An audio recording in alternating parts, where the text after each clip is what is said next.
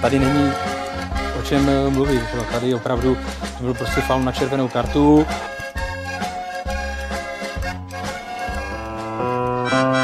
Co je? Jsi ožralej, ne, ty vole.